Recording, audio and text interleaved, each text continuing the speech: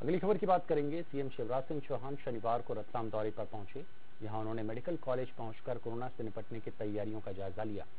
CM ने कहा, corona की तीसरी लहर न आए, इसके लिए सुरक्षित रहने, सभी को कोरोना के दोनों टीके लगवाने का लक्ष्य रखा है। सीएम ने सभी से वैक्सीनेशन कराने की अपील की। इसके साथ ही सीएम शिवराज ने सभी आवश्यक तैयारियाँ पूरी रखने के भी निर्देश दिए हैं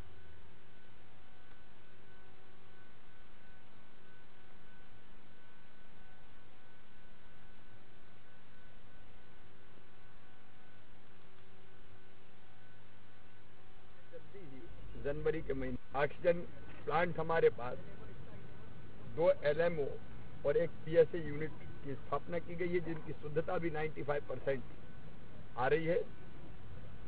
और 176 ऑक्सीजन कंसंट्रेटर भी है।